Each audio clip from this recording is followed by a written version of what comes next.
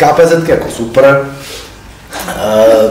je to jako zajímavý koncept, prostě to velmi pomalu, jo, já nevím, pět tisíc lidí v republice maximálně v tom zapojeno, což z 10 milionů lidí, kteří jedí jídlo v téhle republice, tak je jako nic, vlastně plynutí do vody, 20 zemědělců z 30 tisíc, nebo kolik je v republice, no jako by nic vlastně. No a, a tak jsme si říkali, hele, pojďme to jako ještě posunout o kus dál a pojďme to v tím jako spotřebit, to je strašný slovo, uh, přiblížit to ještě jako o kus, o kus blíž.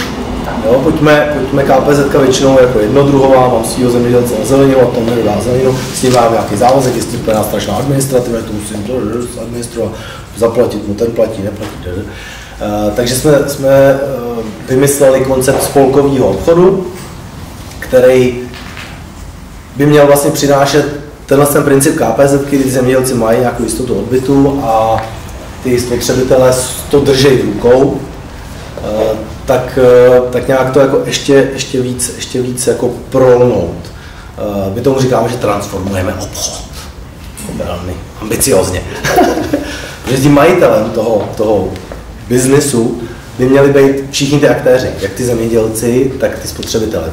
V současné době já vnímám, že obchod má takovou, jako, takovou tenzi, kdy tam jsou vždycky ty dvě strany a teď se přetahují o tu cenu a nakonec nevyhraje nikdo nebo někdo, je, někdo chvilku vyhrává, ale ten druhý prohrává a prohrává ten druhý.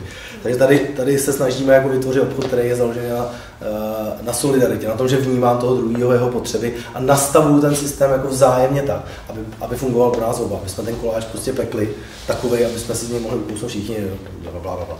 No, uh, ještě vlastně nevíme, jak to budeme dělat. Scháníme teď lidi do toho, který, jako, který si řeknou, ale to je vlastně, to je vlastně dobré nápad, to bychom měli, to bychom měli se o tom, se o tom zamýšlet. Uh, máme nějakou představu, uh, máme nějaký jako přípravu na to, místečko, kde bychom tenhle ten jako pokusný obchůdek chtěli, chtěli rozjet a chybí nám lidi, kteří by do toho chtěli s náma jít a chtěli by zkusit transformovat obchod s potravinami. Obchod s potravinami mimochodem je jedno z nejkonkurenčnějších, asi jste tady někdo z firm, který si zabývá, jedno z nejkonkurenčnějších prostředí. Dostat se tam vyžaduje investici v řádu prostě stovek miliard, aby člověk, aby rohlík nebo sklizeno rozjeli ten biznis, tak do toho si nalili stovky miliard. Aby vstoupili vůbec do toho biznesu, má nějaký 3 miliardy, ne stovky miliard, stovky miliard, pardon má asi 3, miliony, 3 miliardy je obrat obchodu s potravinama a do něj se dostat urvat si z toho aspoň ten půl miliardičku stojí prostě stovky milionů. Uh, takže my tady s nějakýma jako strandičkama no, komunitníma uh, se snažíme tak jako drobně narušovat tohle tu obrovskou kouli a No a proto tady jsem a mluvím o tom, proto mě jsem to váš pozval, abych vás trošičku jako navnadil, že to, že to jde a že to můžeme držet aspoň trochu v těch rukou a nemusíme jenom čekat co nám hm, pan Babiš a ještě větší šéfové hm, nalejou na hlavu. Tak.